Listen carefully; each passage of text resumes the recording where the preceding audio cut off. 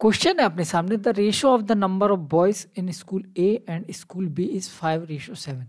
देखो, number of boys का ratio दिया है स्कूल ए में और स्कूल बी में। क्या दिया? बॉयज़ का रेशो। कितना? Five, ratio seven.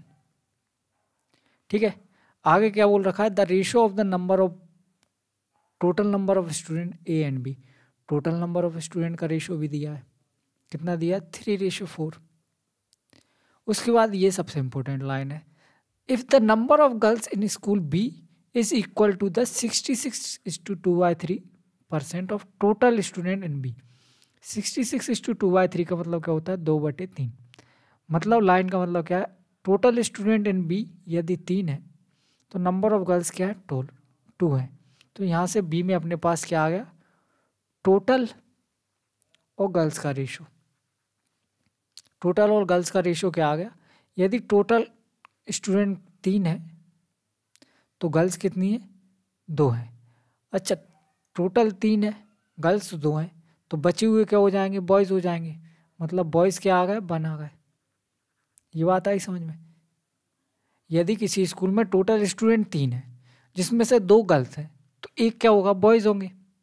Total student तो तीन है ना। बॉयज़ प्लस गर्ल्स मिला के टोटल होने चाहिए। बिल्कुल ठीक है।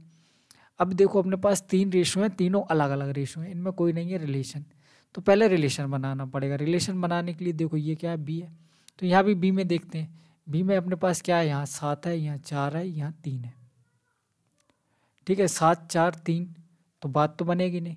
सात, चार, तीन में बात बन नहीं रही तो क्या करते हैं अपन?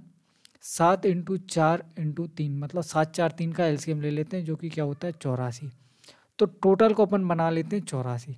टोटल को चौरासी बनाने के लिए क्या करना पड़ेगा? टोटल को चौरासी बनाने के लिए देखो यहाँ कितना है इक्कीस है मतलब चार है। चार में सात और तीन से अगर मल्टीप्लाई कर दें मतलब इक्कीस से मल्टीप्लाई कर दें तो ये चौरासी बन जाएगा। बिल्कुल ठीक है। यहाँ कितना? है तीन है। तीन में अगर अपन सात चौक को अट्ठाईस से मल्टीप्लाई कर दें तो ये भी चौरासी बन जाएगा। बिल्कुल ठीक है।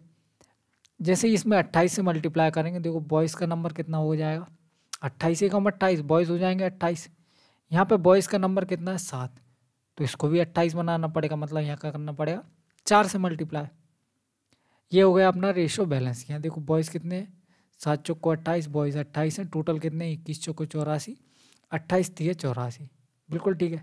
एक बार मल्टीप्लाई करके और लिख लेते हैं। तो ये हो जाएगा पाँच चौको बीस, सात चौको अट्ठाईस।